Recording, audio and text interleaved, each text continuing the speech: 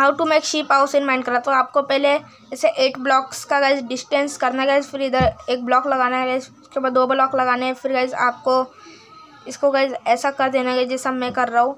फिर गाइज़ आपको ऐसा सेम टू सेम साइड करना है गाइज़ ठीक है? फिर गाइज़ आपको गाइज़ ऐसा पूरा इसको बंद कर देना है।